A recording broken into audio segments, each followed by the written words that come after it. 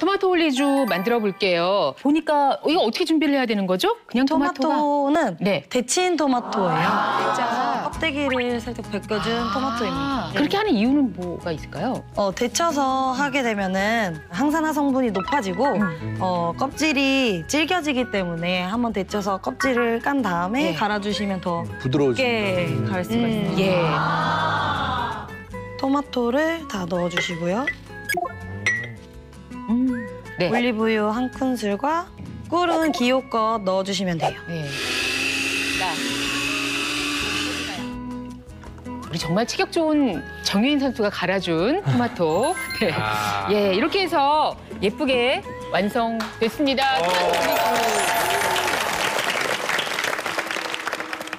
평소 좋아하던 토마토 주스가 또 이 폐 건강에도 도움이 될 줄이야. 예, 한번 맛을 느껴보시고. 음. 어우, 냄새는 너무 그냥 시원한. 네. 또 훌륭해.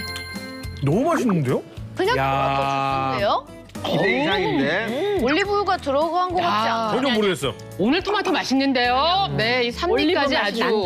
음, 뒷맛에 올리브 맛이 나네요. 확실히 데치니까 또 단맛도 활성화되고 그래서요. 그러니까 원래 짭조름하고 맛있네요. 네. 대조 토마토. 한 맛이 나네.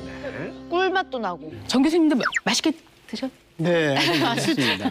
네.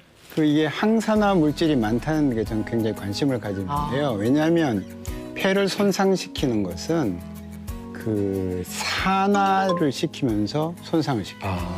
항산화 물질이 정말 제대로 된 거라면은 아, 폐 염증도 상당히 완화시켜 줄 수 있다는 거죠. 네. 권장할 만하다.